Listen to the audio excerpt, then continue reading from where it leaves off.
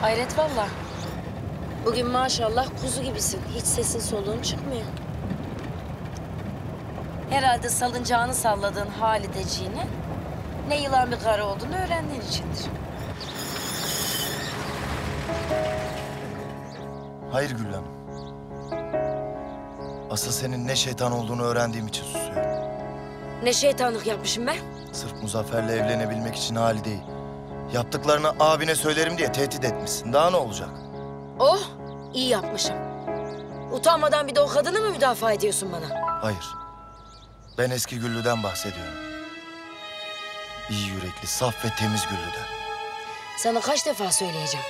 O Güllü öldü. Çıkar şu maskeyi artık suratından. Bu sen değilsin.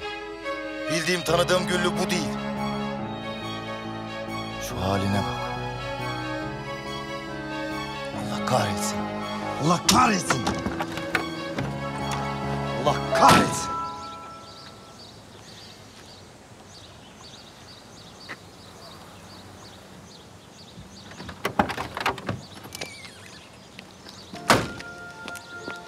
Ne varmış benim halimde?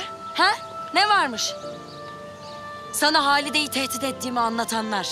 Halide'nin çiftliğe adım attığım günden beri bana nasıl eziyet ettiğini de anlattılar mı? Ha?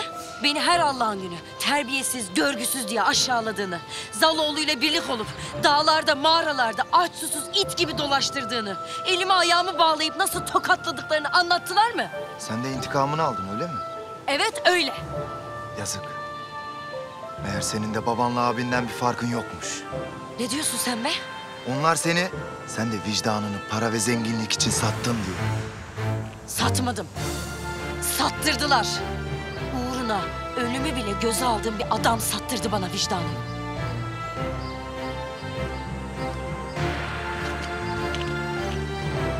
Hadi geç arabaya.